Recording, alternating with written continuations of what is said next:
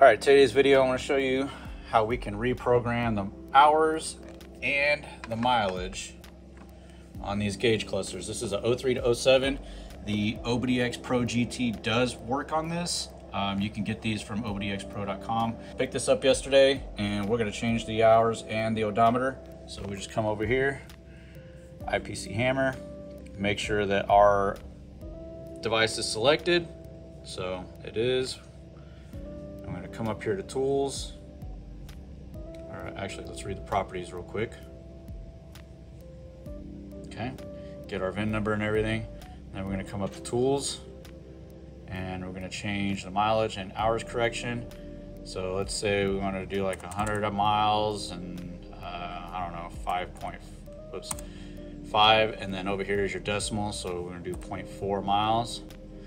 Select the correct cluster. This is the 03 to 07, so now we're gonna hit OK.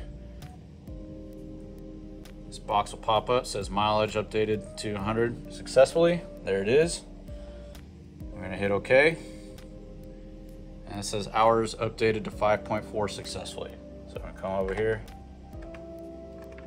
There's your hours, 5.4. That simple, that quick.